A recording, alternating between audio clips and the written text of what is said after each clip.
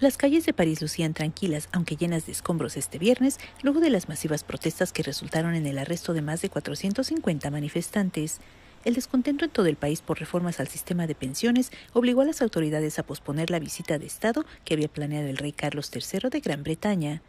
Aunque no había protestas masivas el viernes, hubo afectaciones en el sistema de trenes y filas de camiones bloquearon el acceso al puerto comercial de Marsella. El jueves, alrededor de 300 protestas atrajeron a más de un millón de personas en todo el país. El ministro del Interior Gerald Darmanin dijo el viernes que 441 agentes y gendarmes de la policía resultaron heridos después de que surgieran actos violentos en algunas protestas. La oficina del presidente Emmanuel Macron anunció que se pospuso la visita de Estado del Rey de Gran Bretaña. El monarca tenía programado llegar el domingo a Francia en su primera visita oficial, antes de trasladarse el miércoles a Alemania. La gira por Alemania continúa en pie.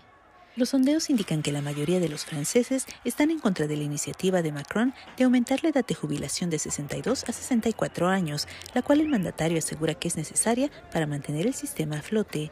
Los sindicatos han convocado nuevas protestas y huelgas para el martes. Rosalba Ruiz, Associated Press.